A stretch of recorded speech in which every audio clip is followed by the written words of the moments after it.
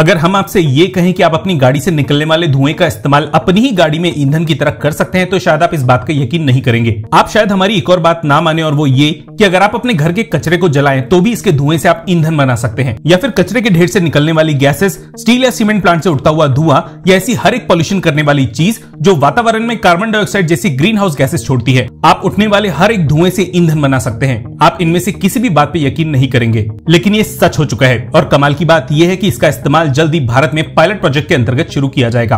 दरअसल US based एक company ने एक ऐसा तरीका निकाल लिया है जिसकी वजह से पॉल्यूशन करने वाली फैक्ट्रीज या गाड़ियों के धुएँ को इथेनॉल में कन्वर्ट किया जा सकता है, और वो भी अच्छे बैक्टीरिया की मदद से। इस कंपनी का नाम है लेंजाटेक लैब और ये कुछ ऐसे बैक्टीरिया का इस्तेमाल करती है जो केवल पॉल्यूटेंट्स ही खाते हैं। एग्ज़ाम्पल के लिए carbon dioxide, carbon monoxide, nitrogen oxides और सल्फ़र जैसे खतरनाक केमिकल्स इन बैक्टीरिया का खाना होता है। और इन पॉल्यूटेंट्स को खाने के बाद ये जीवाणु बाय प्रोडक्ट के तौर पे क्लीन इथेनॉल जनरेट करते हैं। आपको बता दें कि इस तरीके का इजाद हाल ही में हुआ है और इसका कमर्शियल इस्तेमाल चीन की तीन फैक्ट्रीज करना भी शुरू कर चुकी है। भारत की इंडियन ऑयल कॉर्पोरेशन इसका इंस्टॉलेशन अपनी एक नई रिफाइनरी में करने जा रही है, जो फ़िलहाल के लिए अंडर कंस्ट्रक्शन है। लेकिन इन आर्टिकल्स में इस नई प्लांट के लोकेशन के बारे में जानकारी अवेलेबल नहीं है। इसके अलावा बेल्जियम में आर्सेल और मित्तल की एक स्टील प्लांट में भी ये टेक्नोलॉजी इंस्टॉल की जा चुकी है। इस प्रोसेस से निकली इथेनॉल का इस्तेमाल प्लास्टिक बोतल को बनाने के अलावा गारमेंट्स ब्यूटी प्रोडक्ट्स और घरों में ईंधन की तरह किया जा सकता है, या फिर ऐसी फैक्ट्रीज जो अपने ही धुएँ से निकली इथेनॉल को फिर जला सकते हैं। लेंजाटेक के मुताबिक अभी तक ये करीबन दो lakh metric ton green gases को वातावरण में फैलने से रोक चुके हैं और इस प्रोसेस के ज़रिए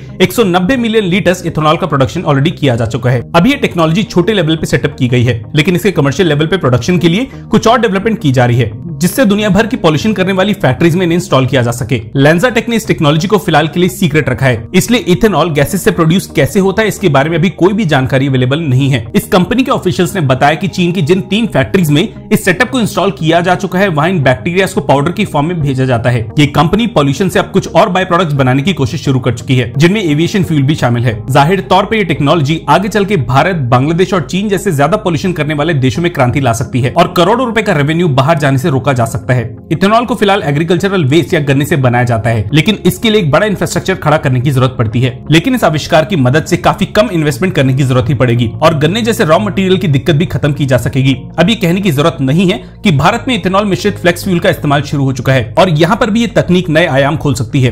काफ़ी और जानकारी डेकन हेरल्ड के इस आर्टिकल में ऑलरेडी दी हुई है, इसलिए आप इस आर्टिकल को भी रेफर कर सकते हैं। हमने गौर किया कि आपको हमारा कंटेंट पसंद आता है, लेकिन आप में से बहुत से लोग चैनल को सब्सक्राइब किसी वजह से नहीं करते। आपका इस चैनल से जुड़ना ही हमारे लिए मोटिवेशन का काम करता है। इसलिए हमसे जुड़े और कमेंट सेक्शन में एम लिखने के बाद वीडियो को लाइक भी कर दे। धन्यवाद। जय हिंद।